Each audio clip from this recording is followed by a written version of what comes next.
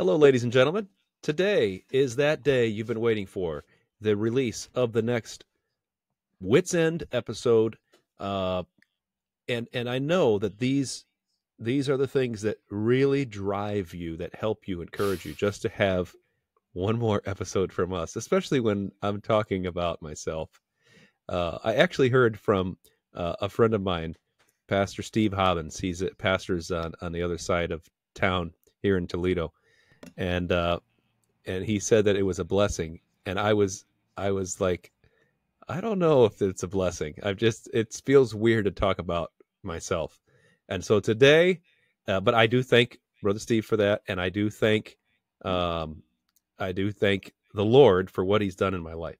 But I'm glad to be moving from interviewee to interviewer today because I am going to get down beneath all of that facade that Brother George yeah. puts on. We're going to go beneath. Okay. It's like the like the underminer. He says, I am always beneath you, but nothing is beneath me. so that's what we're going to be doing today. Is that a, is that like a wrestling character? What's the underminer? Well, the under He's on the end of the movie The Incredibles. Remember that oh, cartoon? Okay. and the I, underminer. Okay. He comes up out of the ground like with a corkscrew Thanks, drill. I am always beneath you, but nothing is beneath me. so that's me. That's me today. I uh and and by the way, uh I it took me a long time before I realized it was not undermining, but undermining. Really? I never okay. yeah, I never knew that. So uh, just like I didn't know that pickles were actually cucumbers. Right. uh, so, so it, it's it's like I say, everything you thought you knew about exposés is wrong. And today, everything that you thought you knew about George Antonios is going to be put in a whole new light today. So we've built it up as much as we can, George. We want to hear your backstory, your origin story. How did you come to get these superpowers that you have? That's what we want to know. Yeah, superpowers.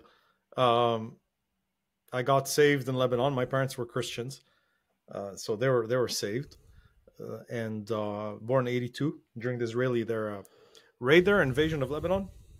Uh, they were saved. My mom had led my dad to the Lord. My father, though, was a bit of a something of a a local war hero for a very particular kind of part of the Lebanese uh, populace, uh, kind of one of the leaders of a right wing uh, Christian militia. I say Christian, you know, in quotation marks. And uh, so he got saved, and uh, I grew up going to like Alliance churches, Baptist churches, but he still was very much attached to his Catholic background. So, like Easter's, we spent Easter in the Catholic Church. I got baptized as a baby. I got my first communion as a Catholic uh, in Lebanon, and uh, so that's kind of what I grew up in. A lot of Bible in, in the in the churches, but a lot of Catholic background. Uh, was fascinated by the saints, the Catholic saints. I thought you had to become. I thought you had to be like an actual Catholic saint to, if you want to go to heaven. Um, I was fascinated by the saints and by crazy people, which I suppose go hand in hand. Um, I don't. You crazy ever heard of people. Simon? Yeah, well, you ever heard of Simon the Stylite? Yes. Yeah. So this guy, like for years, presumably in Syria, literally sat on a pillar, on top of a pillar. Sunshine or rain, people would bring him food, you know. And I thought I had to be like that if I want to get to heaven. You know, like some ladies think they have to become nuns to go to heaven. And I was, it was, I just, I had to find out what makes crazy people crazy and what's going on in there, you know. And a lot of the saints seem to be crazy. And now I know they, some of them. Is really that why were. you're friends with me? Yeah, birds of a feather, right? mm. Um, so there was that a lot of Catholic background, and then, but no particular conviction of sin. I grew up praying to God. We'd have family altars because it was the civil war in Lebanon, so we grew up praying that the bombs would not fall on our head. Uh, and then one day, I there was, for my salvation there was something like a Halloween. It's on December fourth in Lebanon. This would be 1989 or 1990, and I didn't have a costume, so my aunt lent me her son's, my cousin's costume, cowboy costume I went to my school. I was the head of the party. I thought it was John Wayne or Charles Bronson, one of those guys. Yul Brynner. Came back. Uh, my aunt shows up a few days later, asks for the costume back. and I had hid it under my bed and pretended I didn't know where it was. And I told her I've, I've lost it. And uh, she, of course, didn't believe me. She went like this, you know, pulled down her eye. And I knew she knew I was lying. My mom was standing right next to her in the doorway of my bedroom. So I said, let me look for it. And I closed my door and I pretended to look for it and find it. I found it under the bed and handed it back to her. But I'm telling you, man, Jonathan, the shame I felt. Hmm. And I think that's due to the preaching in the church. Uh, that level, I really felt ashamed. Like, man, I lied to my own aunt in front of my mom. And so that kind of was bothering me. And but some days later, I forget how much, we were having family altar again. But this time I wasn't concerned about the war. I was more concerned with my guilt. And at that night, I understood that it kind of clicked what Jesus had done, that he basically was being punished for my lie on the cross. That's one thing that clicked without anybody telling me anything. So it's not like my parents were leading me to salvation or anything like that. Uh, and the other thing, but of course, I had the background of preaching in Sunday school from the church, and um, the and the other thing was it's as if the Spirit of God asked me a question while I was praying, which was the following: Who other than Jesus Christ was dying for you on that day on the cross? And to my eight-year-old mind, I was eight at the time it just dawned on me like wait a second there was only one man on the cross. Only one. So therefore he alone was atoning for my sin. Mary was not on the cross uh, and the saints were not on the cross. Only jesus was on the cross and so therefore only jesus could atone for my sin. Hmm. and i started i just i began weeping. My dad didn't know what was going on. We don't have so much that at least i like we were like typical Sunday morning Christians and really not an iota above that. We, would have family altars because of the war because we were scared. So this whole idea about leading your children to the Lord wasn't really, it wasn't quite the thing uh, I think in my parents' minds. They just figured we'll raise them up in church and it'll happen when it happens, and it did. I'm not saying that's how it should happen, uh, but it did. So he didn't know what was going on with me. He just thought I was crying for whatever reason. So he picked me up, put me in bed, and I slept like a baby um, and that's Hmm. how I got saved. Wow. How old were you? Years ago, eight years old. Eight. That's right. Eight years Wow. old. that's awesome, man. Yeah. And, and you just you know, uh, when a believer hears another believer's story of salvation, when you start talking about who Jesus Christ is and what He's done, and how that personal that's why we call it having uh, a personal Savior. Um, it resonates with you. You definitely know Hmm. that uh, that's the same Christ that I met. Amen. That's exactly right. That it's amazing, and the love That's of Christ. exactly right. um, all over the planet for all these years, and it, it still continues on. The beacon, it's the lighthouse. Okay, so you're eight years old, which means you're Yeah, probably se- I can't seven or eight. I can't quite place it, but it's it's either seven or eight. For well, if i i- here's if you don't know what year, then you certainly don't know what day it was. Do you know what day it was? no, I just know it was some days after December fourth, because that's when the Oh. costume party was. Well, I don't know. You, you, you, you're, I don't know if you ever heard of this. There's a there's a, a habit, a custom that some places have where they'll sing this song. It was on a Sunday, somebody touched me. They sing it, and then they sing, "It was on a Monday," and they Oh, sing yeah? every like that, and people Okay. stand up based on the day that they Ah. got saved. But but a lot of people don't know, and so they feel embarrassed, so they have to sing at the end. It was on a someday, somebody touched me. So it's kind of funny. It, I don't know why it's such a big deal. What day you got saved on, but um, It's But it's- assurance for uh, for a lot of people. I wish I knew Yeah. the day. yeah, that's true. I, That's I mean, true. I so, so we can get into that maybe another time, but like that experience, I forgot about for years. Like in my mind, in my mind, it's not that oh, I have eternal life now, right? It's just oh, I'm forgive. I, I feel forgiven. The weight is off, and then I went on with Mm. my life. Right, right. Years later, now I'm in Canada. I'm in the preacher's course, and uh, my pastor, Pastor Larry Theophanopoulos, who, who I love like a father, said, if you're going to be a preacher, you need to have a clear testimony. If you can't tell when you got saved, you have no business telling other people how to get saved. And I sat there, I'm like, I was never asked that. I'm like, wait, I know I'm a Christian, but I don't remember the date. I didn't even remember Hmm. that story. That story didn't come to mind even. Um, and it's only, long story short, it's only when I went back home that night that that came back to mind. But I hadn't filed that experience as a salvation experience. Hmm. It wasn't. I don't have like a folder of day I got saved. That folder didn't exist in my mind's archives. So I had to like go back in my mind. I remember that, and I'm like, oh, that's what must have been it. And I had to create a kind of a memory for that uh, the folder. I didn't create the memory, but I created the folder to archive it in there, and that has helped in my witnessing. Uh, but I say this to encourage some certain people who got saved young and may not necessarily remember. And I wasn't trusting like I wasn't like a Catholic. I wasn't trusting the. I was trusting really the righteousness of Jesus Christ, nothing else. Well, you know, um, I, I, I understand people wanting. uh, You know, a lot of times you hear the dynamic testimonies, and the dynamic being the contrast between the wickedness and the mm. righteousness, between the Right. darkness and the light. Right. And so that seems like wow, it was soft and now it's really loud and it was subdued and then it was really bright. And and Right. that that's that certainly we thank God for that. And certainly in a, from a spiritual standpoint, from the scriptural standpoint, of course, that's what he did. He re- he translated us sure. from darkness to light. But if you ask someone, when did you fall when did you first fall in love? What day did you fall in love with your spouse?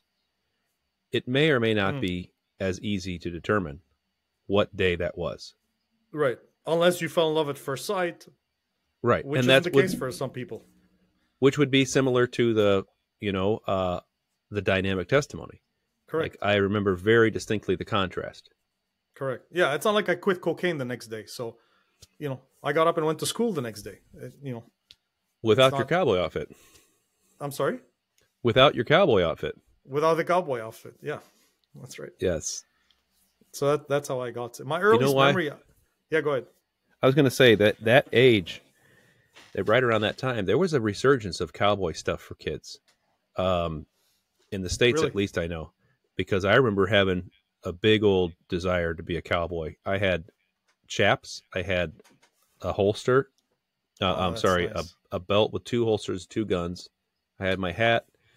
Um, so I love it, and uh, it's not associated with sin to me. I'm sorry it is in your life, but Yeah.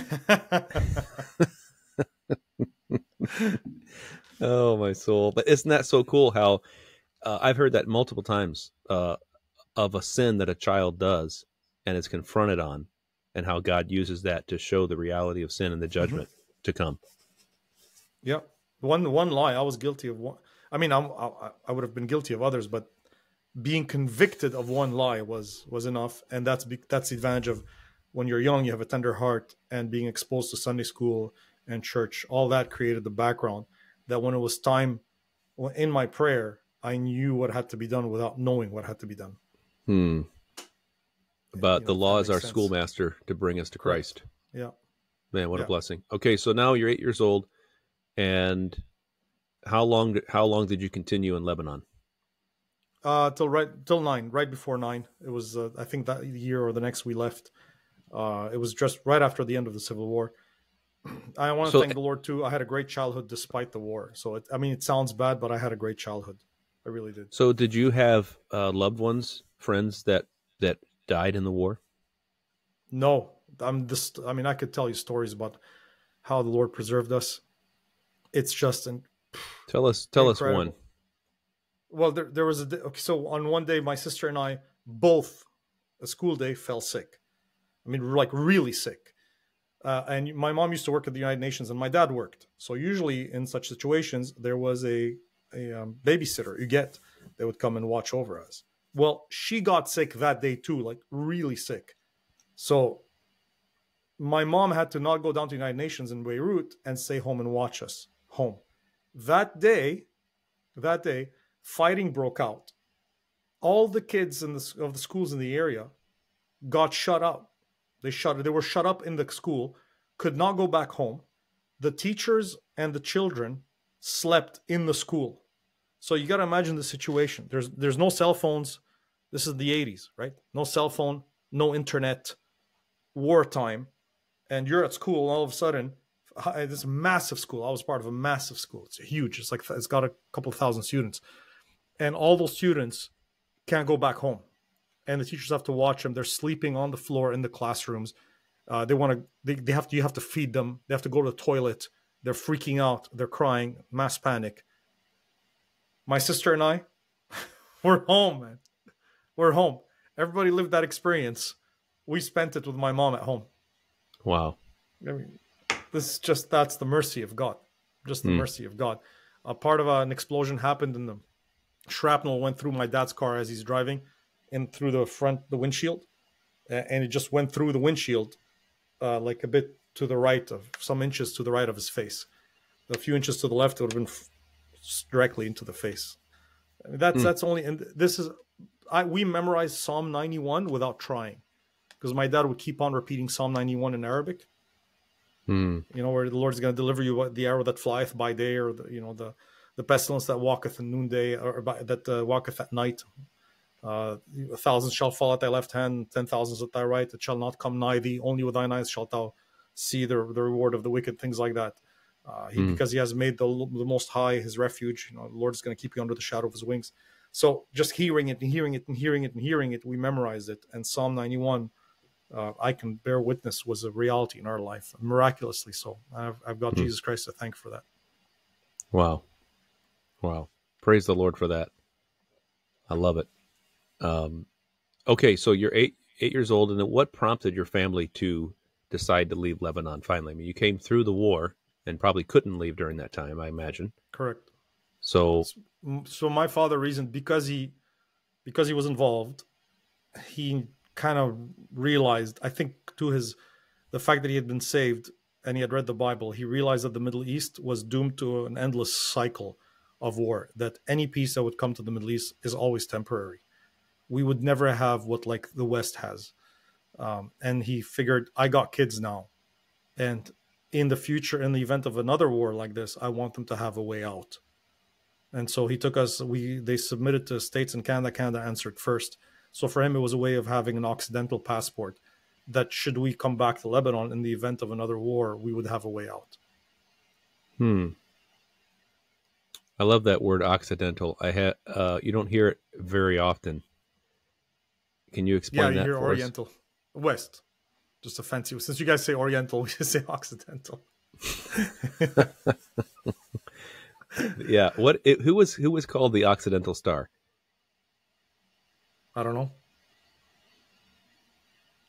It was a king. It was, I think it was a king of England, but Really? Okay.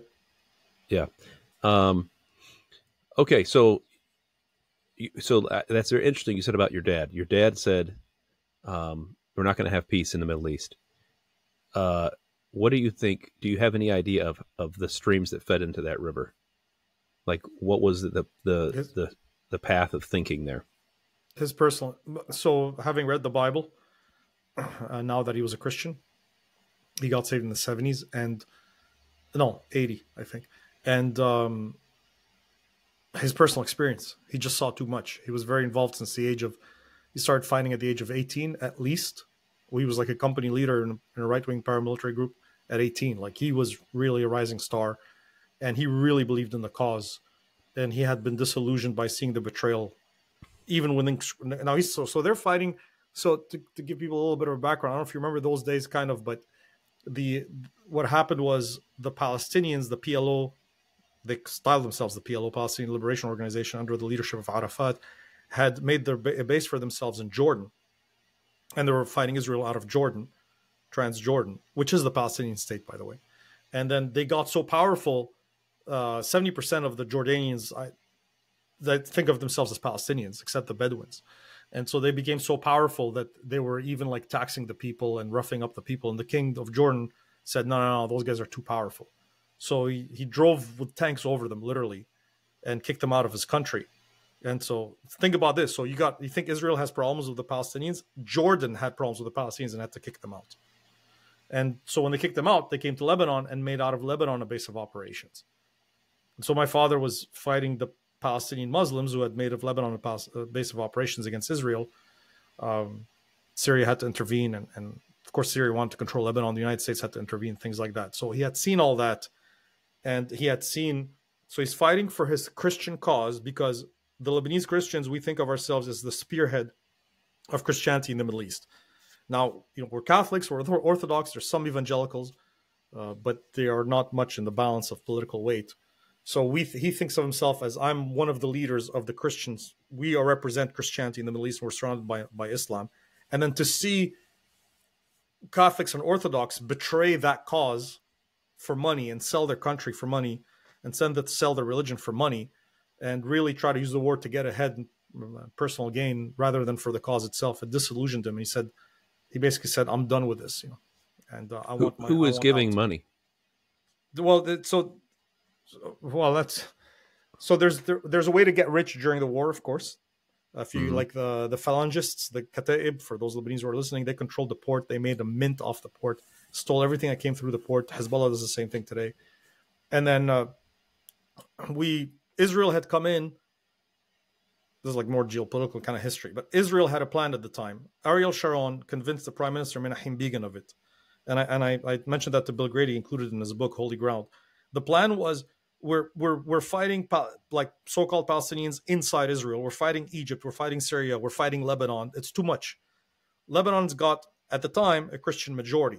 So let's let's divide up Lebanon into confederation, prop up the Christian majority, train them, arm them. So the Israelis trained Christian militias in Israel, and uh, let's prop them up. Bashir Gemayel was the leader of the Christians back then.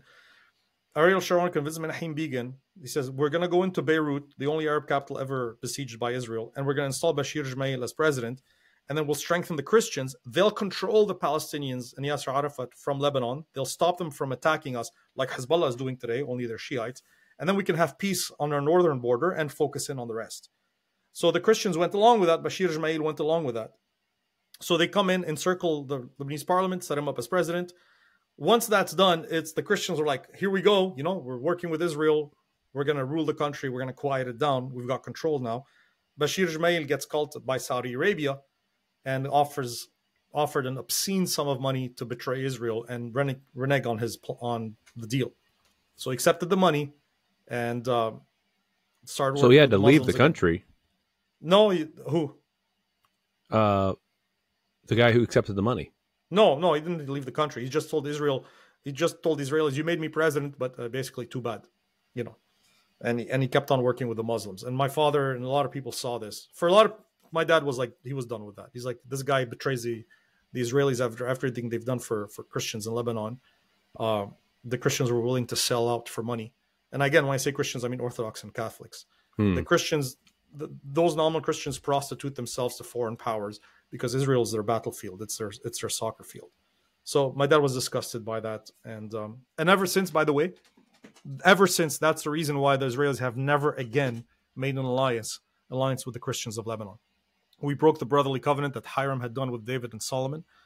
Uh, Amos actually prophesies about uh, that kind of pattern of prophecy, and they've never again uh, even considered it. But the betrayal was so deep. Menachem Begin had to be. He's the only Israeli prime minister who was buried without a state funeral because of the debacle, the Lebanese debacle of invading Lebanon and it blowing up in their face.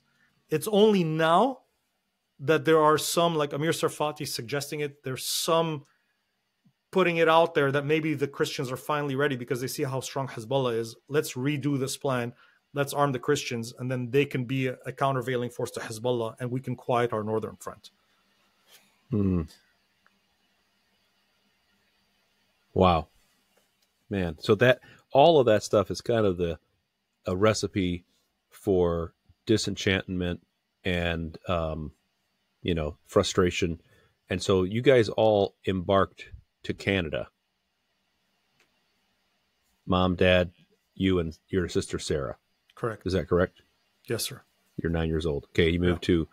to um, Quebec. Came to Quebec because Lebanese speak French because of the French Mandate of 1943. So Quebec was apt to was more uh, open to receiving Lebanese. What's the French, French Mandate? Lebanese. So after World War One, the France the, the Sykes-Picot Accord divided up the Middle East. Um, Lebanon fell under the tutelage of uh, France, and so because of that, we had a lot of French schools in Lebanon, and so a lot of Lebanese grew up speaking French almost as a native language. Quebec wanted French speakers, and that's why Lebanese Christians predominantly got to, but of all sects, uh, and religions, they they were welcoming a lot of Lebanese because we already spoke French, and they wanted to increase their French speaking population. Did you go to a French school? Yeah, I did. I did. Uh, first year was very difficult. That's where I learned to pray. Uh, very racist. In Lebanon? No. Yeah, yeah. In Lebanon, I went to French. Well, you you were you were taught Arabic and French. Yes. Oh, okay. From okay. yeah, from like your they from kindergarten. Yeah. Okay, so then you you come in, and at what point did you start to learn English? So Arabic first, right? French yeah. 2nd mm-hmm. English third. Yes. Wow.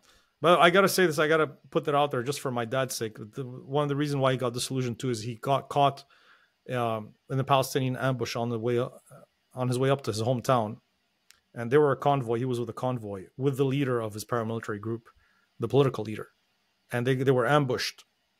And my father was uh, sl- sleeping on the ground beside a bridge, um, avoiding fire under suppressing fire. He couldn't leave, and the the guy who was the head of that group, Georges Adouin, uh, ditched him, got in the car, and drove away and left my dad there.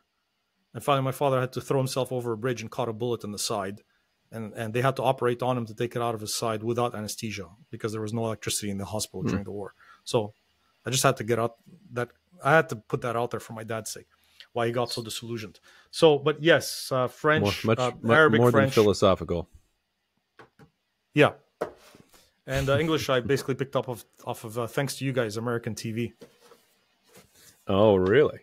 Mm. So what? Uh, what was what was your go to show or one of them? Anything. Uh, Rambo. I remember as watching as a cartoon Rambo. Oh, really? Yeah. How about uh, how about GI Joe? Probably Yeah, not as uh, much in Canada. No, that was yeah. We had GI GI Joe during the daytime. I remember watching a few episodes of GI Joe. I, had- Transformers, I, watched some Transformers. Yeah, Care Bears. Watched some Care Bears. I don't know if that was in English though. Yeah. Oh man, that, that's that's some wild stuff. It's right sick, there. man. How much we're influenced by TV. We- Oh, it, it really is. Way It's too much time in front of that thing. hmm Yeah, I, I I'm trying to I'm trying to figure out what I've tried to always try to figure out what's the analogy like what is the the the connection in scripture? You know and of course you've got images in the bible and that infatuation with images but uh man i can't even imagine that tool has been used for so much wickedness. Um it's crazy. Okay Yeah. so at this point you're nine years old you move there and so did your parents put you in public school Public school. Worst. That was the hardest year of my life at that point. I'm nine years old. The war was nothing compared to that. really I, I had a yeah, I had a great childhood. Grew up hunting, running in the woods, building forts, building slingshots. It was great. Even the bombings uh, looked like fire, fireworks, except for one particular scare, one once or twice. But we had a great childhood. And then I came here. Boy, it did not go well. South Shore of Quebec, um, 1991. So they weren't used to as many immigrants, and uh, I was Lebanese. Uh, the kids just hated. I was the the the whole concept. You've got a concept. We don't seem to have that. I don't know why uh, in other countries so much, but this concept of popularity and rejects. I don't know what it is with that culture that it's such a big thing. Um, but man, like I, I, I wasn't aware. I wasn't conscious of even the concept of popular kids and reject kids. And I was like the reject of the school, not not one of the rejects. I was the reject. was it a uh, large the- school? I'm sorry. was it a large school? Pretty yeah pretty big public school. So i mean they had a they had a song for me. I still remember the song. The whole class would chant it you know. Uh, go back to your country you dirty lebanese. I had cousins who were my cousins are fair green-eyed kind of um, they're, they're both green-eyed and, and things like that maybe they had it a little bit less they were younger too when they immigrated i was a little bit older nine years old the fact that i spoke french better than them backfired it didn't help uh, the parents the, teachers didn't care too much. I complained to my parents. I complained to the teachers, but there was nothing they could do. Uh, I mean, they would they would you know like this whole idea of like picking people on a team. You, you like two two leaders stand up, and I want the so they the, the leaders would fight between themselves because I was the last to be picked, and they didn't want me on their team. Like it's like literally, I was leprous. I had the plague, um, and all I could do was just go behind uh, the, the school wall and and just cry my heart out. And that's when I began to pray. That's really when when there was not nowhere to you could only pray. Who else are you going to talk to? Mm. You you know. Wow. Um, so was that was the first year? Did that continue into the second year? The, I moved, so we moved to a more cosmopolitan area, Oh, uh, and that was a lot easier. Still a reject, but a lot easier. A lot easier. I think it, now looking back, it had to do a bit with my personality. It had to do also the fact that I was a Christian. I didn't know it back then. I just had a different spirit, and I had this whole thing about Matthew five. I was telling this to a friend of mine. He's like, "Man, I had the same problem in school in Egypt." around Muslims. So like we grew up like Matthew 5, right? Turn the other cheek. And so like I'm a real Christian. I want to please the Lord. And self-defense was perceived of us as sinful. You know, like you're supposed to like let people walk over you. Uh, now my dad didn't kind of put that into me, but that's how we grew up. Uh, we didn't really divide the scriptures. The last day of that first school, my father said, "I'm going to put you in karate." Uh, but before he put me in karate, he said, "Look, those guys when they come to you to to annoy you, the next time, kick him in the shin." That's what he told me. He's like, just and he showed me how to do it. He's like, kick him in the shin. And I'm so sure. The last day of school, that that guy was persecuting me the most shows up with two guys with him. Uh, we're playing, and they come up to me to I don't know do what like usual. And as soon as he got close, man, I just kicked him in the shin. It wasn't even hard. I had to like overcome my mental reservation. And I'm telling you, Jonathan, I kicked that guy in the shin, and he like he got startled, like he wasn't expecting it because the whole year he was just having his way with me. And they literally just turned around and walked away. I couldn't believe it. I'm like, I should, I should have done this. and your I dad, should have done this on your day dad one. became your hero even more. That's right. You're like, yeah, and then he put me in karate. Yeah. Well, like you should have Uh, told me this. You should have told me this on day one. You know. exactly. Were they? Did you get beaten up a lot, or just no, no, beat, no, not beaten up, not beat once. There's no beating up. It was it was more the the, the jeering and the ridicule, uh, writing. Um, they, so they would write like love letters and sign them with my name and give them to girls. Um, you know, in the school, Hmm. they would do a destroy property and say it was me. Things like that. Uh, Hmm. throw snowballs. Once later on, one guy uh, took he put his hand behind my my head and bashed my head into the locker. Um, it didn't hurt that much. It was just kind of, uh, and I felt ashamed. I was too scared to do anything to, Hmm. back to him. Um, you know, things like that. They would they would find something I I, I wrote and um, stick it on my locker for everybody, all the students passing by to read it. Uh, something Hmm. that they thought would embarrass me. Now, what, what was the primary um, uh, ethnicity in that school? So the first year it was mostly uh, French Canadian. French Canadian. Yeah, uh, kids can be cruel, man. But Oh yeah. they can be cruel. But I I mean, I kind of get it too. You know, I kind of get it too. I am different. They, they, I just come from a different country. Uh, you could say the parents should have raised them better, but there's no there's no gospel background there. So mm-hmm. It's fear that that that fuels hatred. I think yeah, Peop- fear they're just afraid of someone that's different yeah. I or ha- I or just like- hateful. I'm not. I'm not saying they're any worse than any people. If if if they had come to Lebanon, they'd experience the same thing. You know. Yeah. Um, so we have to be clear about that. A lot. Of, yeah. I mean, have an American go to a to a Muslim school, you know, and and or a Canadian, he's going to be persecuted, man. Yep. He's to My my pastor's son in Greece, the Greek kids tied him to a tree, and made fun of him. They tied him in a tree and walked away. Really? You know. So it goes all ways. Oh, Uh, the other cosmo the other schools were much more cosmopolitan. There was a lot of Lebanese and everything, but it was just me. Part of it that I'm saved. Part of it is just, uh, I don't know. I just don't have a popular personality. I suppose. Well, w- once when I got back to Lebanon, I was in American school, and I really think it has to do with the Lord because I saw what the popular kids were doing, and I got away from the Lord. Uh, and I wanted to be like those guys who had like success with the girls and everything. And I kind of literally watched them and studied them. And I said, you know what? I'm going to do it. I'm going to be like a bad guy, but I'm going to be like a good bad guy because I know I'm a Christian.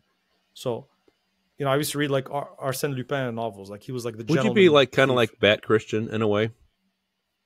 something like that. Mm. And and it, it the problem is that it, worked marvelously. Like really, I, I was shocked at the success because I, I was gonna be like the the principled godfather, you know.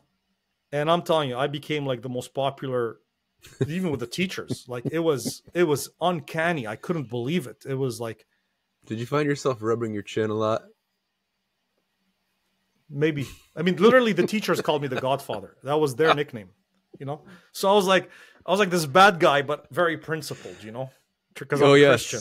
Yes. yes, studied. Oh yeah. Uh, So that it it it So you were could people really see. were you coming up uh, with decisions like deciding what we're going to do with Uh, this person? I did whatever I I didn't even have to go to class. Like it was it was you know it Did was the great. teachers like you? I they loved me. It there was I was I was like I'm telling you I was I'd, I'd sit like in their seat in the in their literally I'd sit in their office in their in their seat in their seat. I'm not kidding. They'd walk in. I'm sitting in their seat.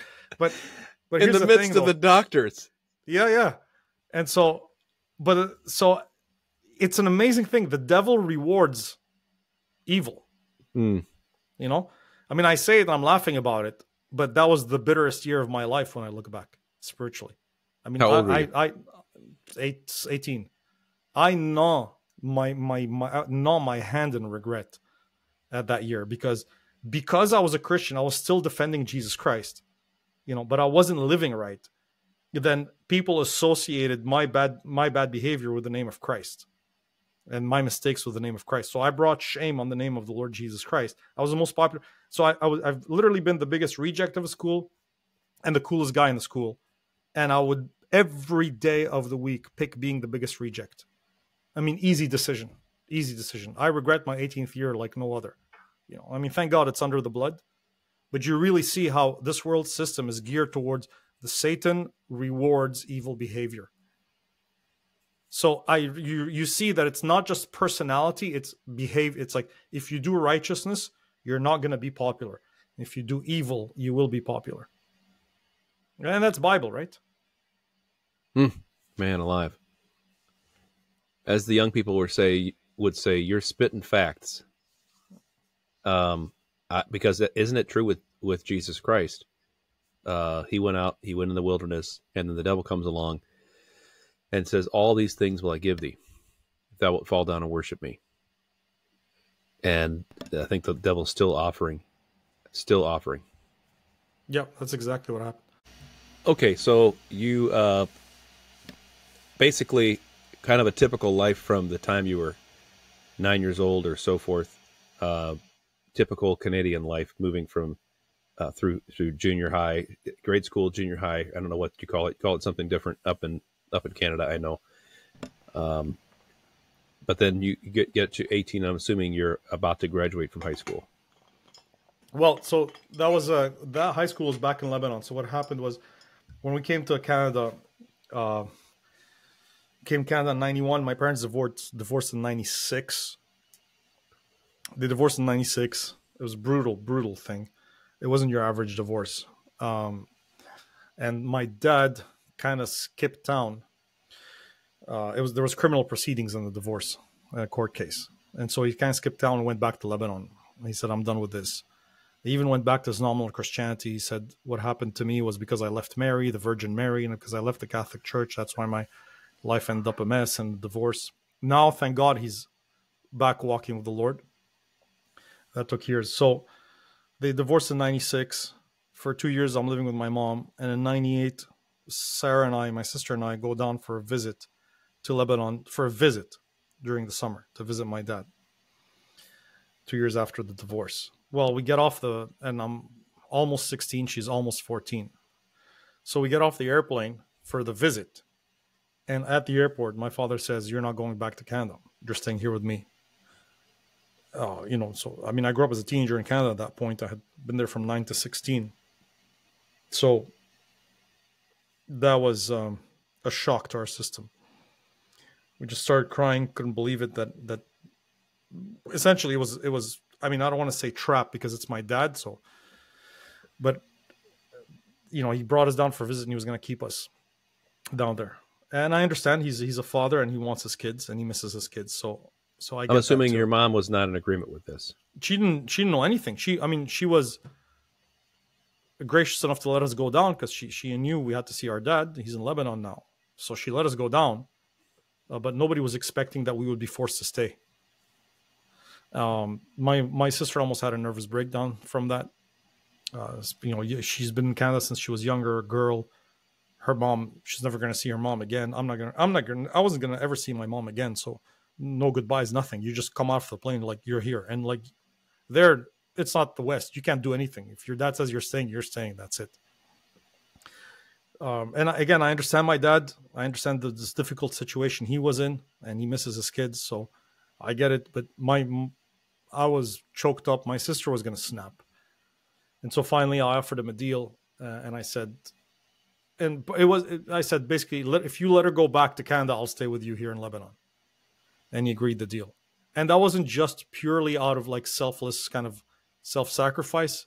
It was while my dad was away after the divorce. I kind of quit studying. I quit everything. My grades were a disaster. I wasn't even sure I was going to like pass that year. So for, for me, it was kind of also a way to walk away from my disastrous academic year. Um, not to not to mention the fact that uh, the, the bullying.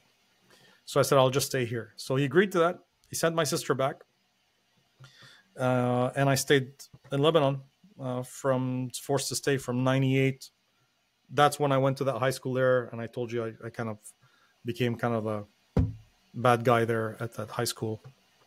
And uh, from there on, I went to university.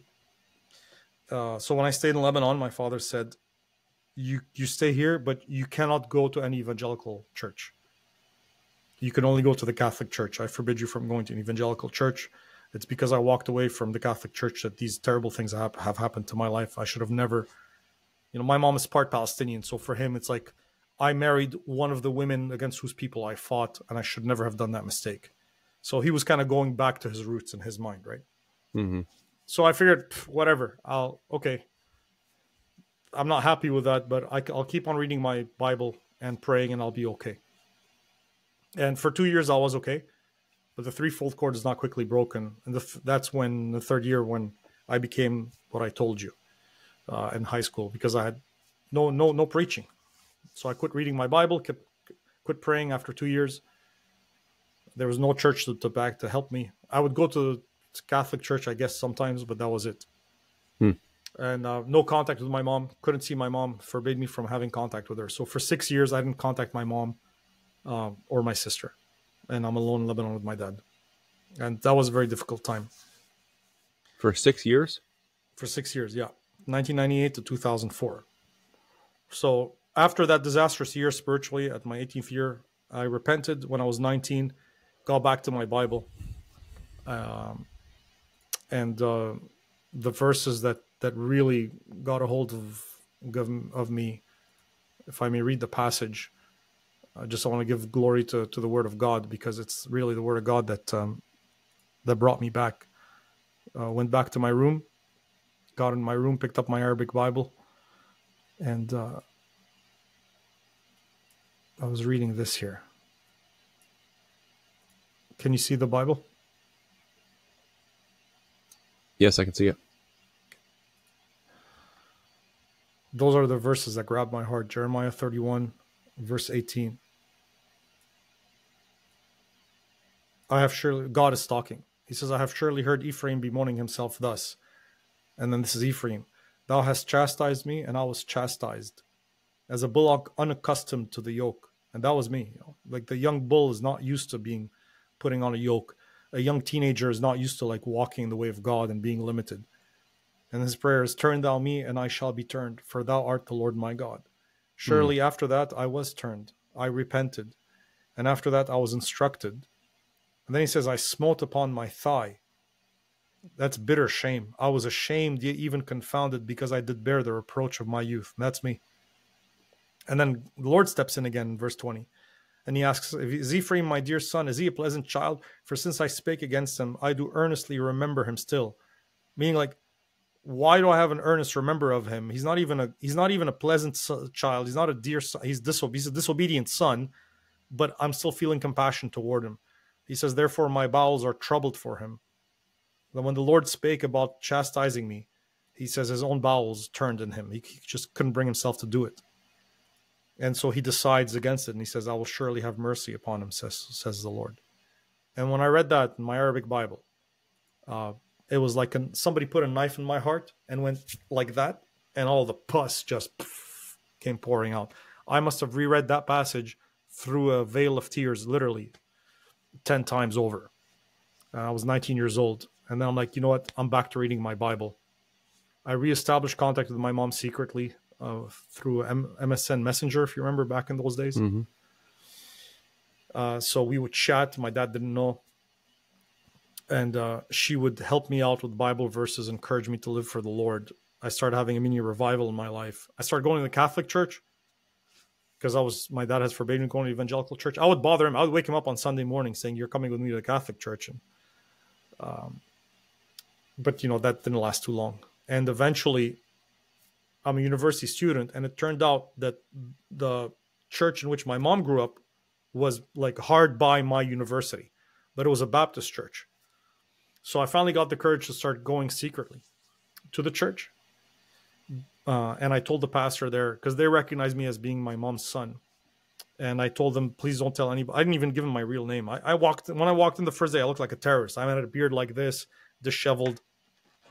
Everybody in, in the pews kind of turned and looked at me. They were scared. And then when they found out who I was, they kind of calmed down.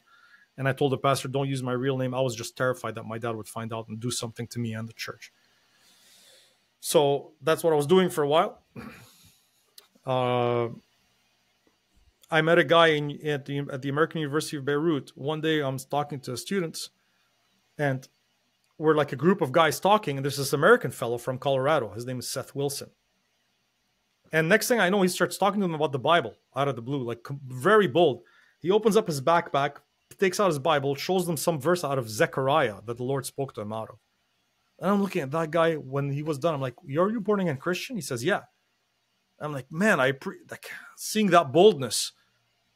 It just set me on fire. So the next day, guess who brought his Bible to university campus? It was me, because of Seth Wilson's example. Who's a former Mormon who got saved.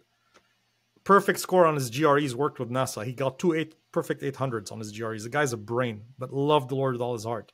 He married a Lebanese girl eventually. So I started kind of building up faith, and I knew that I had to to tell my dad eventually I'm going to Baptist church again. Um, so one day, Wednesday after Wednesday service in the church, man, I'm telling you, Jonathan, the first day I walked back in church, I had been out of church, out of an evangelical church for five years. First day I walk back in, and I see the pastor walk behind the wooden pulpit, and says, "Open your hymns, you know, open your Bible." Just hearing those words, Mm. just tears streaming down my i was like i felt like i was home back home you know? Mm. like this is where i'm supposed to be. It was it was like the prodigal returning. But i had to overcome a lot of fear to go there. So one night i remember clearly i'm making i was making fun of the man that in luke 9 the lord says come and follow me. And he says suffer me first to bury my father and i will follow thee. And i was telling my my pastor after the evening service i was saying this guy can you believe this guy? I'm like there's guys that told the Lord that we want to follow you in Luke 9. This guy was asked of the Lord specifically to follow him. I mean, he's like, that's equivalent to what he did with the other apostles. And he says, Let me first uh, bury my dad. And I'm kind of mocking the guy and saying, Come on, your dad's dead, man. Jesus Christ, the Lord of glory, is calling you. And you're like, Oh, let me take care of this. Who cares? Just follow him. And my pastor says, He says, You know, George, you could read that verse two ways. It could be that his father was dead and he wanted to finish the funeral or it could be that his father is alive and he's just saying, wait till I fulfill my duty toward my dad. And once my dad is dead, then I'll give my life to you. And as soon as my pastor said that, I, I didn't know the Holy Ghost throws punches, but he throws punches, man. It was like, I don't want to be irreverent, but I felt sucker punched. You know, it was like all the air just, it was really, thou art the man. It was like the Spirit of God saying, you're making fun of that young guy and that's hmm. exactly you. You're afraid of your dad. You don't even tell him you're going to church. You're waiting for something to happen so you can be free and serve God. Because I was under laboring under the weight. My father works for, worked for a very powerful, very influential family in Lebanon. And the idea was they were paying my tuition in university, the Sahnewi family. and the idea was that, at least my dad's idea, and it was definitely a real possibility, and they were paying for the tuition because they don't trust much of anybody, but they trusted my dad.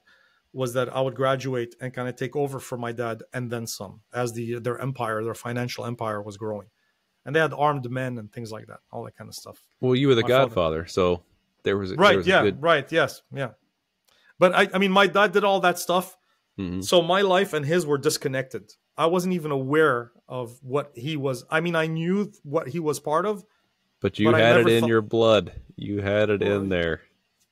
i suppose i, I to me that was I, I, it's bizarre it's like it wasn't my life it was my dad's thing Mm. and in my i think in my mind it was so sanitized because i Ah, respected right. those people it was Mhm. so sanitized i was like no no no they're not bad people those are like they're fighting for the, cause you know so my Mhm. father he's not doing it i, I can't explain it uh, but but Yeah.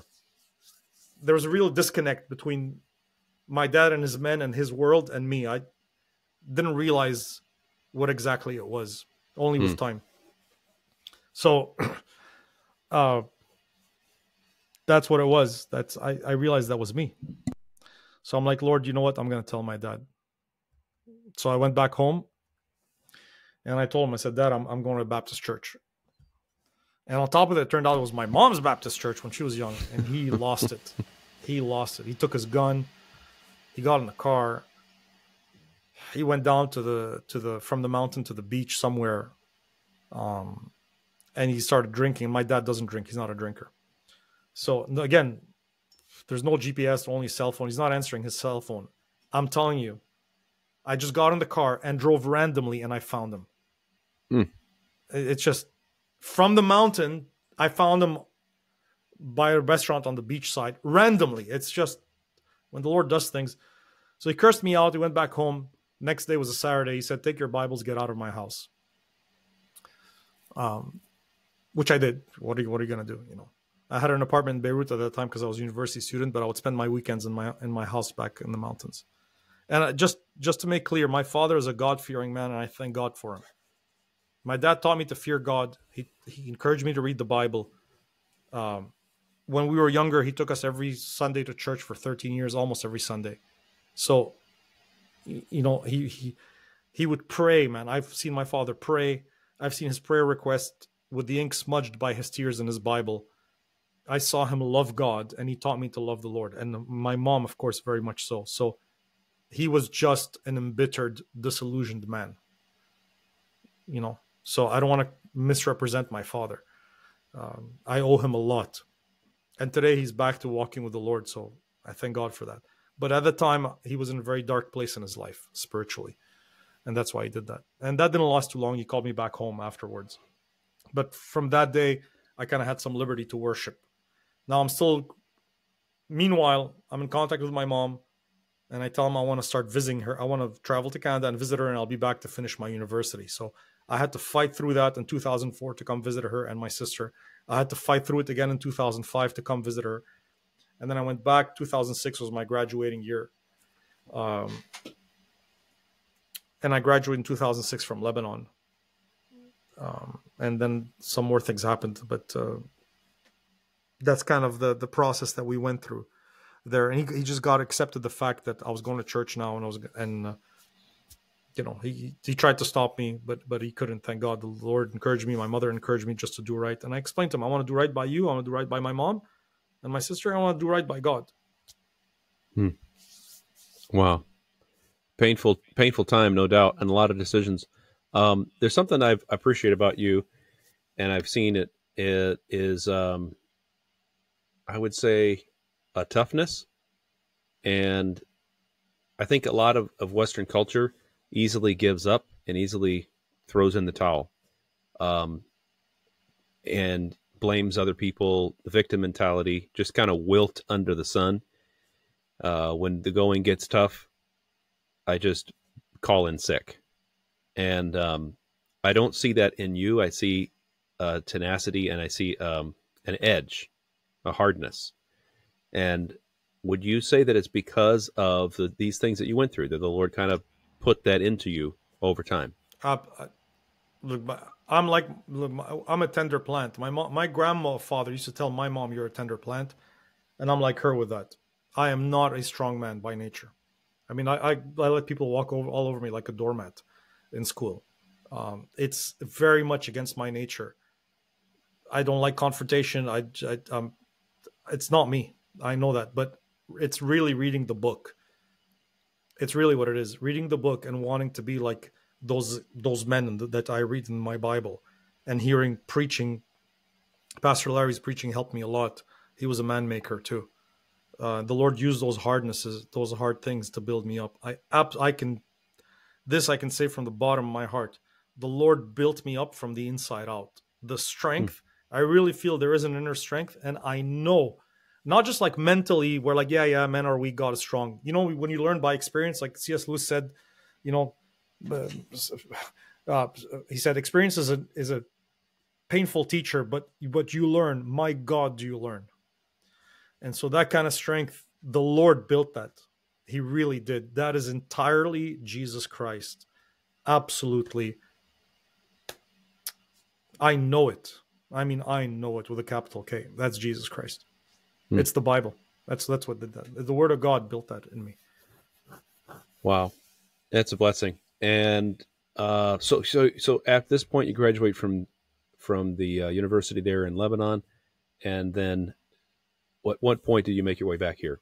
Yeah, so th- a lot of things I have to hold back because for my own protection, my family's protection in Lebanon. But so the idea was now when I was in university, I was in a depression because I had this weight that I'm going to graduate and I'm going to have to serve, walk in my dad's footsteps and that family. And let me say this: that's not necessarily wrong. Some people are called to do that. You know, I think it was the Welch guy who, the, you know, the grape juice, the heir to the Welch company. Mm-hmm. He wanted to be a missionary.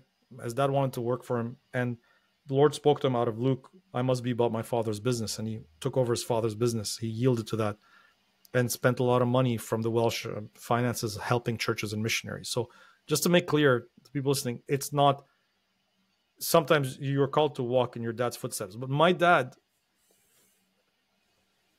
had armed men with him. Some of those guys were were like leg breakers.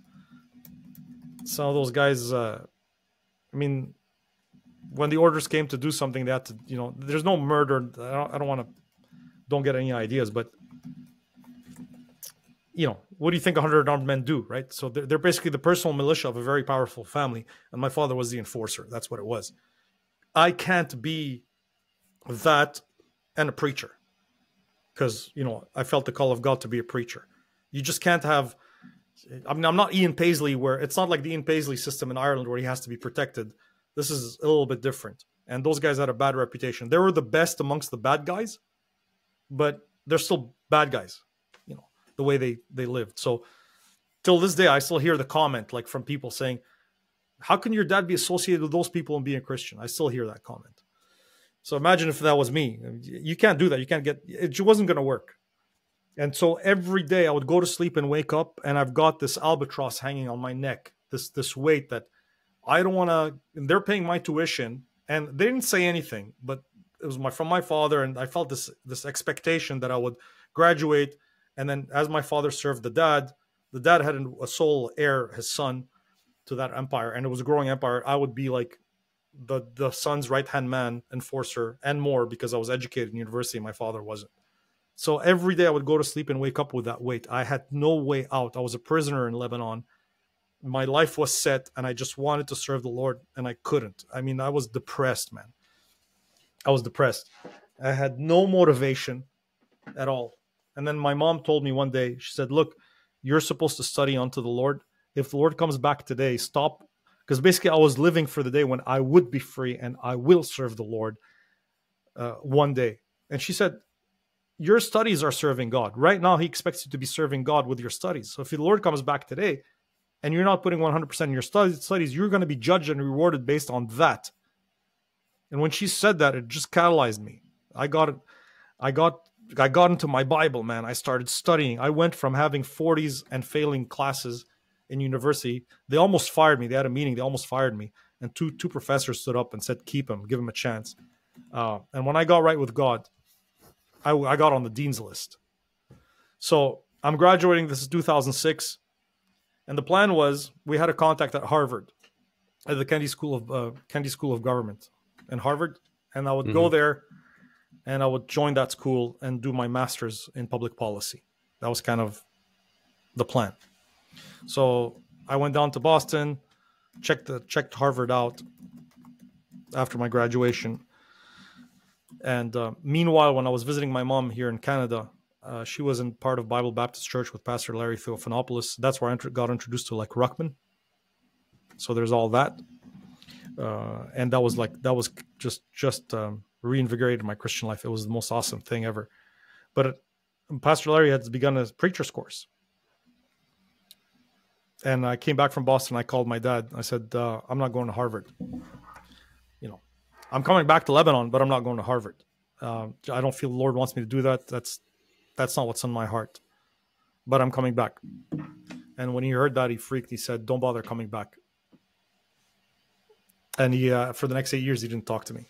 So I got, I registered in the preacher's course, and that's how I uh, got on the path of the of the ministry. Were Were you accepted into Harvard? No, but I, w- I didn't need to be accepted. Uh, we had um, that would have been arranged. Are you saying you know a guy? You know a guy Yeah, who knows a guy. The Godfather. yeah. No, that was that was basically. I was. I mean, it wasn't guaranteed, but it was. It was. It was a shoe in. Uh, yeah, Nice, nice. Um, that's amazing. So when you got into uh, the preacher course, all right, and what was the promise made to you? And what what was the uh, the dream? It was I will be a preacher when I come out. No, it was just past the Pastor Larry started a preacher's course. Uh, so what had happened on those visits during the summers to Bible Baptist Church in Canada while I was still in Lebanon, some of the guys, that's where the guys in the church there started talking to me about the King James Bible. And uh, I fought them over that for about a year. Uh, my mom started telling me about dispensations and like reconciling James, James and Paul, and all those things made a lot of sense to me and but I still had my reservations. So I would debate with them back and forth over these issues.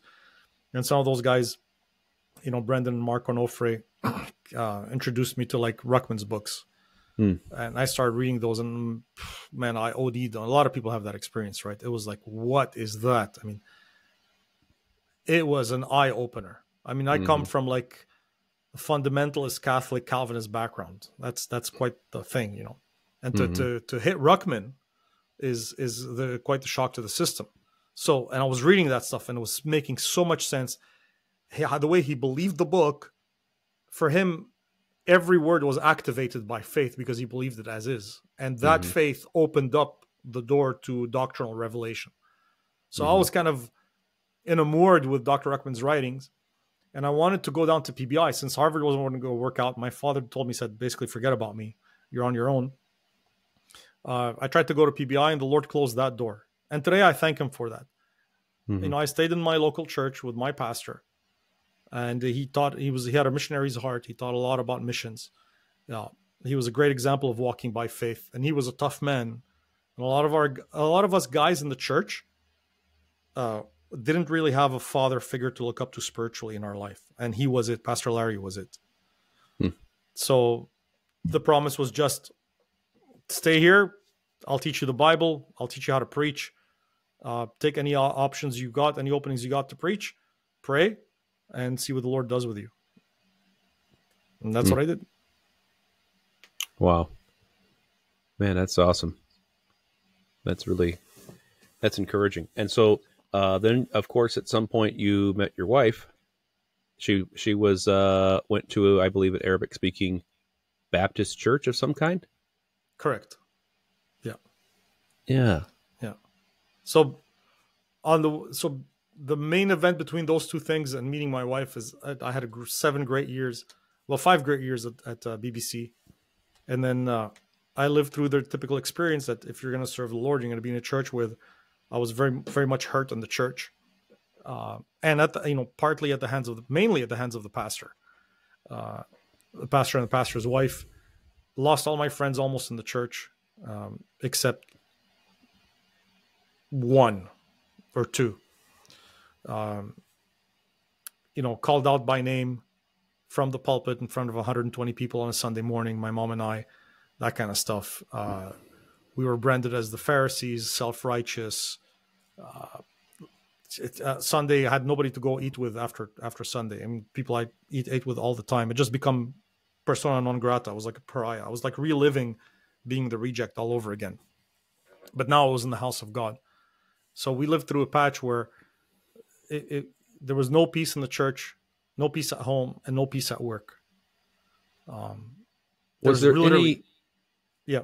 Was there anything to the charge of being a Pharisee, or was No. it a matter of perspective? There's a matter of perspective. Now, I've been a Pharisee, definitely, but in that particular case, um, and like, and I know because later on there were apologies were forthcoming after after nine months of trial, uh, the apologies were forthcoming, and everything fell into place and turned out great. But it's something that you you have to live to. You have to live through. I, I if I had to, uh, when I heard about that, I thought, I wonder if the devil didn't tempt your pastor with, look at this guy and his mom trying to take over, trying to direct things, trying to usurp authority, or whatever the case might be. Um, because just because that's such a common temptation to a leader. Look at this person who is trying to rise in the ranks. And I don't know if that's way off. in in this case i, I mean th- there was a fear of that but that wasn't for from with me it was it was more um it was pastoral authority creeping into personal space that that we believe was beyond the jurisdiction that god Hmm. uh, gave a preacher Mhm. um you know but like who to marry and things like that Hmm. and um and because we were of a diff- differing opinion than the pastor and his wife um we were branded as pharisees and and the other the other side kind of talked about us and we decided to keep our mouths shut as much as possible um, just because that's i you know you hear the preaching like let the lord defend you let the lord defend you and i was adamant and i'm going to obey the preaching you know and it turned out it turned out well so, and again i say this it it's not to make because i i say this one of the reasons i say this is because i know a lot of people listening especially online you've got a lot of people who are hurt in church but they're still hungering for spiritual things. So where do they find it? They find it online where there's no chance of being hurt, right? Because you're online. And what you mentioned, the devil at play, I knew deep in my heart from hearing enough preaching that there was a spiritual element to this battle. It wasn't about me. It wasn't about my family. It wasn't about the pastor. But it wasn't about his wife. It wasn't about my friends. That church was a great church. It was doing a great work for the Lord. It was a real lighthouse and the devil was coming after kind of the pillars of the church trying to shake it that's what was going on so i wanted to always keep in mind that this is not about me as personal as this as this is something bigger than me is going on something that has to do with the work of god here uh, it was very very painful i mean I, to the point where like i would pray and i feel like the lord wasn't answering and I, I felt like i was at the edge of an abyss like my heaven was brass i was about to lose my mind because my world didn't make sense anymore hmm. the, the, the church was my home. I gave up Lebanon. I gave up. I gave up what some people give their left hand to have as an inheritance. Lived out of a suitcase. Left Harvard. This is my family now. This is my entire world, and I've lost my family. Like I'm an orphan. I was an orphan for for those nine months. It was it was very very painful um, and frustrating. Um, and I had to keep in mind that all the preaching I had heard during that time. And one day, you know, we forget just because we were done wrong uh, doesn't mean we have to forget all the good that was done us also. Because one day I remember, and I, I've told you this, I think I preached it too at your church. I remember one day after the service, I was just looking at the pastor. He's going around, he's shaking hands, and I was angry, man. I was angry. And he was like a father figure in my life, you know. I was angry. I'm like, man, what a disillusionment. And I'm watching him do that, and I've got anger in my heart. And all of a sudden, it's as if the Spirit of God whispered and said, hey, George, you see that man there? He's doing the best he can. That's what the Lord told me. It was a difficult situation that he was facing, and he's doing the best he can. That's as good as he can do, you know? Hmm. It was a difficult situation. There were there were opposing parties, opposing factions, opposing opinions in the church. And as a pastor, as a leader, he's trying to keep this thing together. Now, was it a mistake of judgment? Yes. Even of justice? Yes. But he's flesh. He's not Jesus Christ. And when the when the Lord said that to me, I can't explain it, man. All of a sudden, that anger, it turned to compassion. I mean, like it went from anger to compassion, like that, at what the Lord said. And I walked up to him after the service and I said, Pastor, I just want to shake your hand and say I appreciate you. And he said, I appreciate you, George. You know, him, him and his wife both, they loved the Lord. They had sacrificed to serve the Lord Jesus Christ. They had suffered for him over the years. They were old. They were tired. Um, you know, mistake of judgment. Who doesn't do those? Who doesn't do this? I, I think Sam Delaney in Tuscaloosa said, and you quoted him once. He said, "The Lord sacrifices a lot of sheep in making a pastor." Mm-hmm. The Lord sacrifices a lot of sheep in making a shepherd and building a shepherd. Mm-hmm. And I couldn't forget all the good that they've done me. And and they didn't do it out of spite or any kind of evil. They just I don't think they realized what they were causing in our life. And the mom and I had to humble ourselves more than once, despite the hard preaching. And we tried to handle it like the Lord said. And I'm telling you, and we took it to the Lord in prayer. I'm like, Lord, you take care of this. You see, you open your eyes and you judge betwixt us. And the Lord did. The situation was resolved. The church didn't split, it prospered. My pastor and, and his wife went on back to the States. They're still serving the Lord. He's still like a father to me. I have a great relationship with him and his wife. In fact, I've had them come up back here and preach for us. I'm going to have them on again. I still call him for advice. Uh, I thank God for him all the time my friends, the uh, you know we we all got over it. And that's why I can talk about it so freely. They are godly people. Again, I say it's easier to for, it's easy to forgive people because I myself have disappointed people, and I myself have hurt people. When you see that you yourself are, I mean, part of it we we are too quick to brand people as being evil and wicked and wolves and whatever. A lot of times it's, they're weak, like you are weak. I mean, there's plenty of things that I wanted to do right, that I was mistaken about and I messed up because I was weak. And when I realized that I hurt other people through my weakness, well, I realized they're doing the same thing. They're hurting me because they're weak. They would like to be better. And that's the best they can do. And so I would have mercy, not sacrifice, right? And the knowledge of God more than burnt offerings, the Lord says. So it was easy to forgive because I knew I had been forgiven and I had failed people and I had hurt people and I had failed the Lord and hurt the Lord. Everything ended up fine because I'm telling you, and I'm, I'm avoid going into detail, but I can have one of those YouTube channels where I can get up there and I can tell my story to the world and say, and this is why there's something wrong with the church model. And this is why something's wrong you know we've got to something i don't know what it is but something's wrong is we got to fix it. And that's why let me be your pastor here online. You know that, that's kind of where people go with that stuff. And this is why everybody's a hypocrite and i don't go to church anymore i still love god but you're pretty good man that's pretty good everybody still gets along everybody still loves each other you got to start it out like this yeah. is there something wrong with the modern church model? Uh, right. Classic. That's that's. Yes, there is. It's just because people.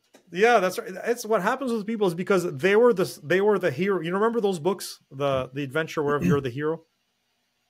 You ever seen the? I used to read those books all the time. Choose your own like, adventure. Choose your own adventure. That's right. Yeah, in French, it was I read, read in French. Choose your own adventure. It's like because you're the hero of your own story. People, because it happened to them, right? The preaching failed me. The church failed me. I was disillusioned.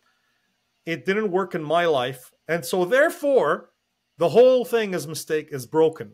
And I'm going to be the one to fix it. That's how cults are born. That's how heresies are born. Mm. you know? Man, that's good, brother. That's good.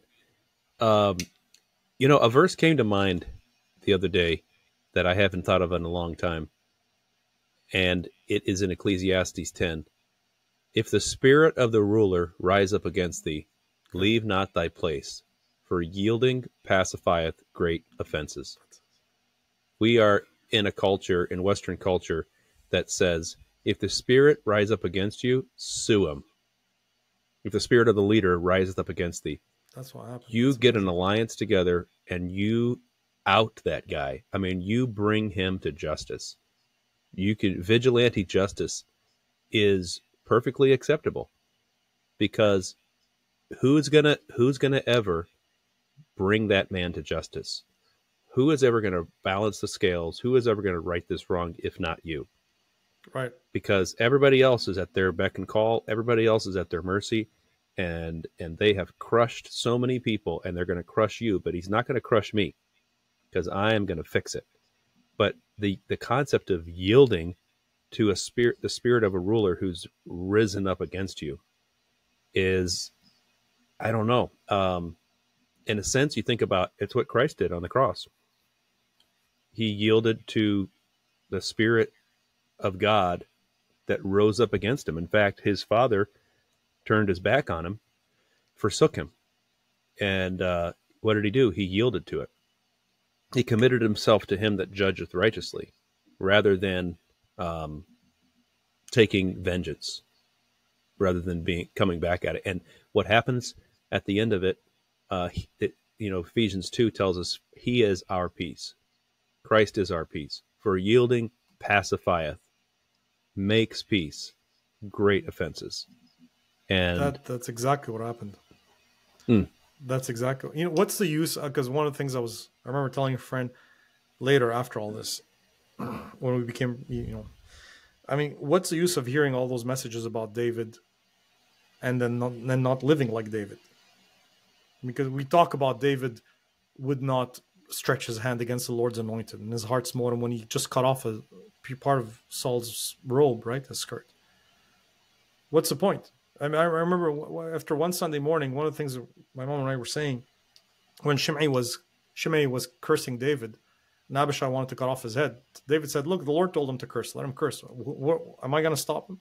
And that's kind of the attitude. Know, like Lord, if you're the one who so you you're the one who said curse, then okay, let your let let your curses fall on us. Uh, let the righteous smite me. It shall be kindness. It shall be an excellent oil which shall not break my head. Now, so you want? I mean, we talk about David, but you got to handle it like David. You know, at the same time, just to be clear, uh, if there's if and nothing like this was happening in my case, but there are some things some things where there's clearly cases of abuse, mental abuse, sexual abuse, physical abuse. We're not saying don't you know just say you know amen do it all to me. We're not we're not saying that. Okay part of it too is the lord builds up strength in you where you can stand up and speak up and resist something that's wrong but still maintain the right attitude you know. So Hmm. i just want to put that out there that we're not saying you know the pastor gets to do whatever he wants and you just become a, a mat. That's that's not what we're saying. But most of the time the situations are not at that extreme and if you handle it like the lord would have you handle it it's you got to swallow your pride and you got to die to self. And you really got to trust the lord that he's going to be your shield and he's going to be your buckler and that the truth will come to light.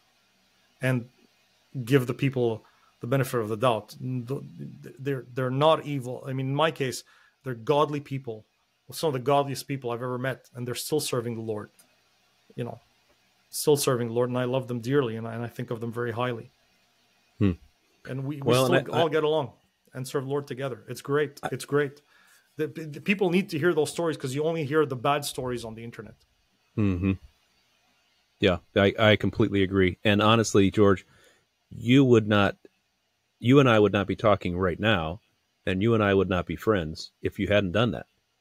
You would be, you would be somewhere uh, defending yourself against these crazy Ruckmanites and Exactly. uh, you know these crazy Bible believers. When Jesus has called us to peace, Jesus has called us to love, and of course He has. But what happens when the righteous smite you. And uh, what's interesting about Jesus Christ is he did not get smitten in his earthly ministry by righteous people, people who are more righteous than him. Um, on the cross, he did in that sense. He became sin for us, and his Father was more righteous than to behold sin. and he said, "Let him do it, let him do it," and he allowed that, and then as a result, that that humility enabled you to to stick in there, hang in there until um, God brought our paths, uh, you know, uh, crossed our paths, and I just I think it's probably in my mind it's one of the top three amazing things about your story is that particular story. Maybe it's because of uh, the the time of life that I'm in, and I've seen uh, people get hurt, and I've been hurt, and the response that you have to getting hurt largely determines what's next in your life. Yeah, let me something I want to say. I've now this is this was years ago. That's all that stuff. I think part of it, whatever humility may have played a part in it, it may have been easier because I was younger. Because I wonder sometimes if I had lived the same situation as a forty-year-old man, uh, and maybe a forty-year-old man would be right in being a little tougher, you know, and standing up because the Lord works on you to to balance you out.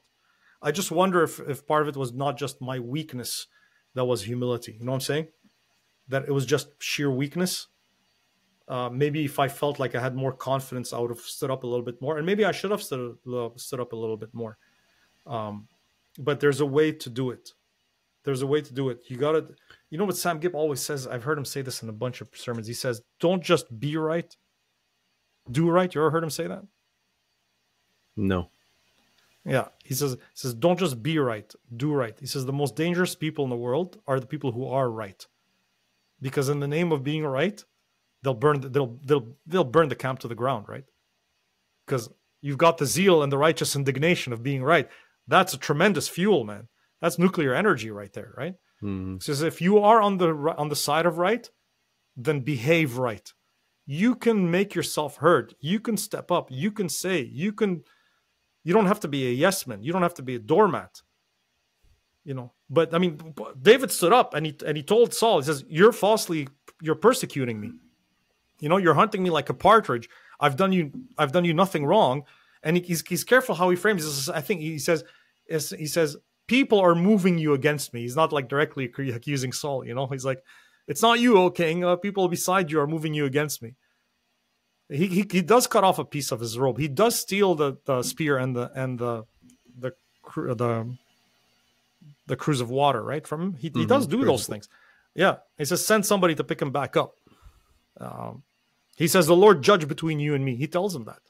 Mm-hmm. But all the while he's saying my Father. He's saying my Lord. He's saying you're the Lord's anointed. And when somebody wants to stretch his hand against Saul, he says no, you don't do that. And when Saul dies, he weeps over him. And when somebody comes, even after the death of Saul, and wants to desecrate this memory of Saul, he kills them. Hmm. So is David weak? No. But but look at how he handled it, man. And of course, not not to make it a comparison. I mean, my pastor is nothing like Saul. My pastor is one of the godliest men I have ever met. He's still serving the Lord today in his old age, and his wife. So they're they're godly people, and there's I'm just putting those things out there so maybe they can resonate with some of what you guys are living. Um, you know, you just have to yeah, do what's I think, right. I think what you're, I, I think what you're, what you're saying is yes, do what you can do. I think about Joseph when he's in prison, and he says to the butler and the baker, "You know, I'm not supposed to be here." Right. And it, and when you get out, you know, do something about it. Right. I, I I'm, I'm unjustly imprisoned, and I think some pe- some people think, well, it means you can't say anything or do anything. You know, he said, "Art thou called being a servant? Care not for it."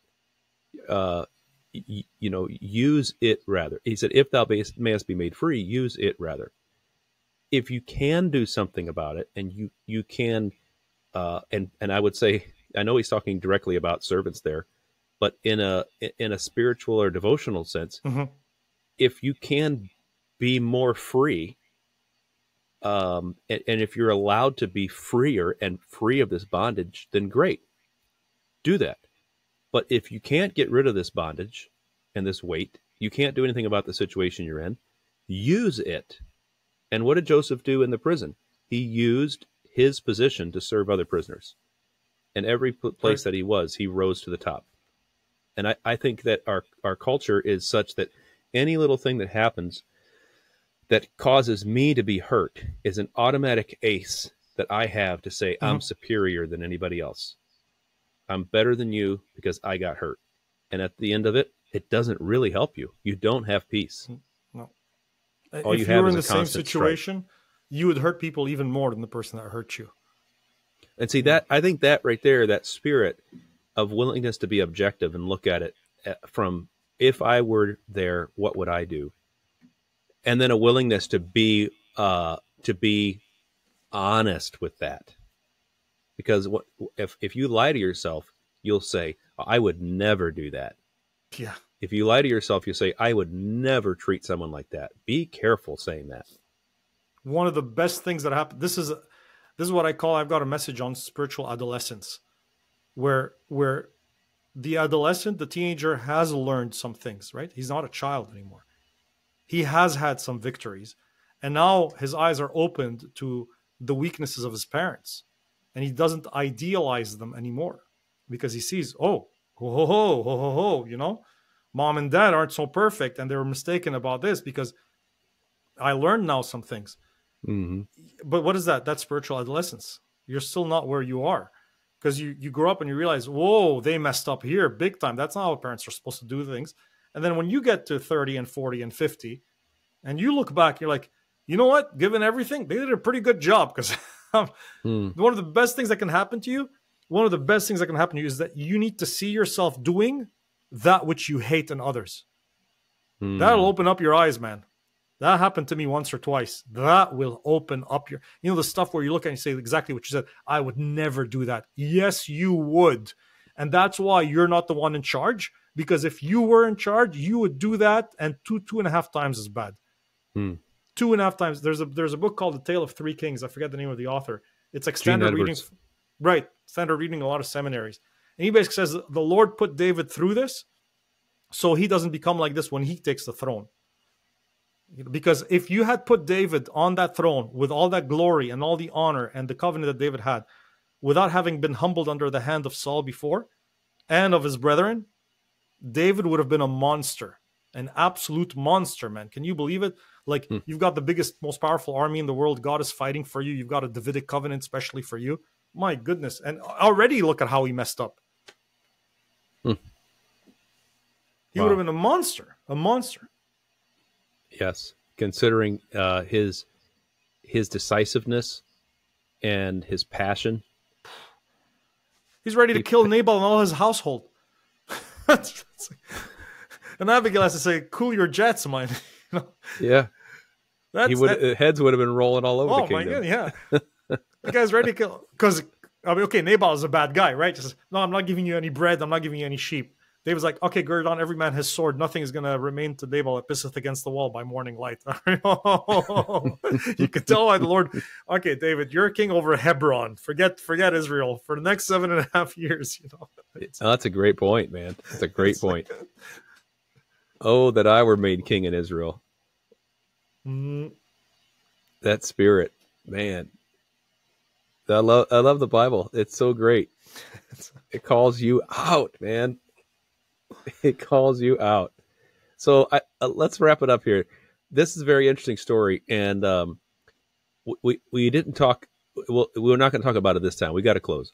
But um, what what a blessing to think about how the Lord has been calling you, the Lord has been working with you, and since the time of you were eight years old, how many transatlantic crossings have you had, and just you know cultural differences, ups, downs, back, forth, and how God is is using you now and has you as a pastor there in Montreal, um, having been around the block and having learned and having a lot of uh, knowledge, but knowledge puffeth up, charity edifieth. And I'm thinking about, you know, some of the things you went through, even with your dad, and I know your story, how you've reconciled with him. And, you know, what is it? Charity thinketh no evil, vaunteth not itself, is not easily provoked. Those are all uh, characteristics of Jesus Christ himself, the Spirit of Christ. And if if the Spirit of Christ is in you, then you have access to those same characteristics, but you have to yield to those things. So when the Spirit of God rises up against you, yield to Him. And if you don't, you're going to have no peace. If you don't yield to the Spirit of God as He guides you and teaches you things as He's taught George, you're not going to have the peace that you want.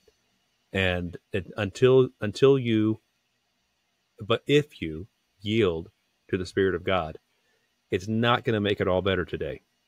It's not going to make it all better next week or Right. probably next year. But what it is going to do, it's going to sow seeds of peace in your heart to, to where you can say, Lord, if you ever, eh, to the place where you come out of that battleground and God can put you in- into a large place, and then you have the knowledge, Lord, if I ever have to go back into that place again, I know you can bring me peace in my heart. No matter where I am, I know you can do it. And uh, that's my that's my little devotional wrap up. Why don't you wrap it up for us today, George? Oh, that's that's pretty much it. That's a good way to wrap it up. I don't really have anything else to add.